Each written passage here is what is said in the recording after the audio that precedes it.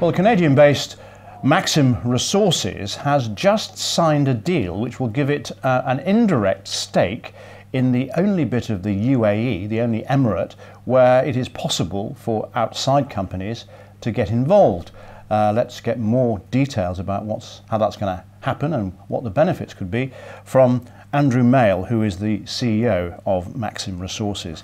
Um, now, it's, it's quite a complex deal, but I mean, first of all, I think the, the exciting thing about this is that you are actually getting access to a part of the Middle East that is very hard for foreign companies. We are. Thank you very much for having us.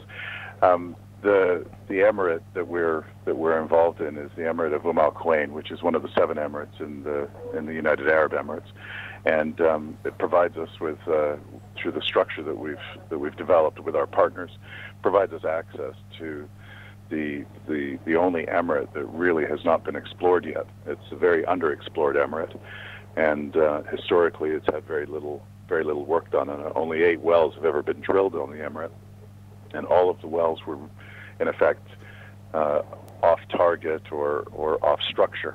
So this is uh, this is a real great opportunity for for Maxim with its partners. So in other words, the, the exploration model was at fault there. You're convinced that there is value here. Absolutely, absolutely. Part of the process here through through Quest Oil and Gas, uh, the subsidiary of Quest Investments, which is a, a family office out of Dubai. Uh, they originally uh, secured the concession in Umm Al Quwain and uh, what they did was they embarked on a very extensive exploration program where it was it was it was basically to prove why the uh, first eight wells did not succeed and why new ones will. And through that process, they managed to secure a farm out partner and uh, and uh, and a and a technical partner along the way. So it's uh, it was a it was a really good technical exercise from yeah. that perspective.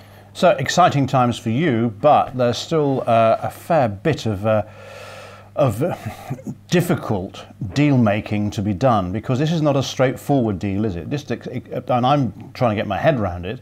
Um, who are the people involved? Why is it an indirect um, uh, access to it? And uh, what are the hurdles you have to jump over before this is completed? Sure. The the concession agreement is held in a special purpose vehicle, which is presently owned 70% by one company and 30% by PTT, the National Oil Agency of Thailand.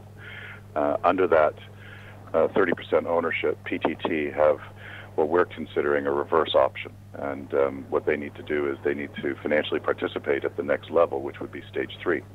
Right now, we are in the middle of stage two of the concession agreement, and that includes the drilling of the first well, uh, which will be done by uh, our, our top line partner um, alongside Quest, which is Arawak, a subsidiary of the Vitol Group. And Arawak have just um, engaged or, or, or, commenced the process of, of deciding uh, the locations of the first well and making a financial commitment for that.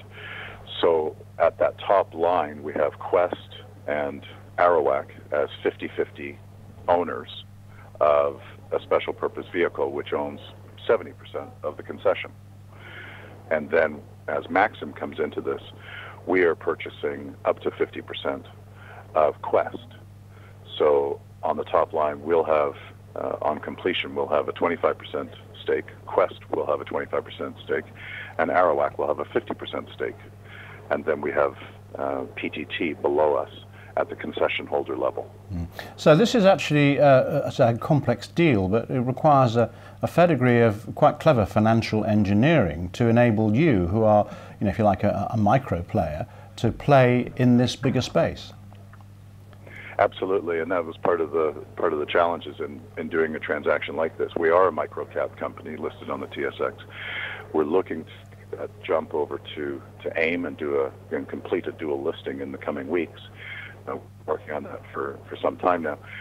But with a, a $7.5 million purchase price for our 50% of Quest Oil and Gas, um, we needed to engineer that properly. And, and, the way we did that was we, we managed to uh, secure Quest as a, as a lead order, uh, in effect. And they'll be taking $3.75 million of the purchase price in Maxim stock.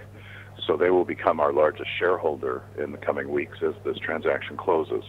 And um, then with that completion, they'll hold about 25% of Maxim on a post-completed basis or a post-diluted basis. The balance, $3.75 million, will be done by way of two tranches, 1.875 on closing uh, in a couple of weeks, and a further 1.875 under option over the next six months. Right. Yeah, so, um, so at the end of it, how much of an indirect stake will you actually hold? Uh, at the end of it, we will hold um, 50% of Quest, which will then have 35% of the final concession agreement at the uh, at the concession holder level, uh, partnered with uh, with uh, with Quest over the past, partnered with Arawak Vitol, and partnered with PTT out of Thailand. And you're also taking on some uh, new senior management. We are. We've um, we've managed to transform the board of uh, of Maxim over the past few months, and um, myself, I've been a director of the company since 2011, but took over as CEO in January of this year. And um, part of the, the, mandate I was given from our chairman was to to transition the company and um, and make it more uh, oil and gas friendly, a little bit more technical in nature, and a little bit more business business uh, uh, friendly in nature. Um, we've we've already made some changes at the board level, but the one that uh, I'm really excited about right now is the inclusion of Ian Barron to our board. Um, former formerly running Conoco in the Middle East for 20 years. He was also the CEO of Dragon Oil and Cadogan Petroleum, uh, having left Cadogan about three years ago. And um, those are uh, those are two very substantial companies listed in London.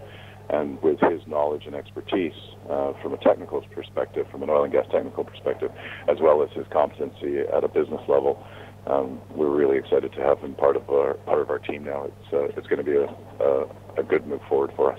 All right, so all the players in place. It's an exciting time. Thank you very much indeed for joining us, Andrew Male. Thank you very much.